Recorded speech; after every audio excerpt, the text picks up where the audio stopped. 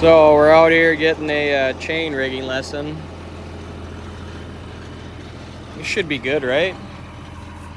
I mean, rock solid to me.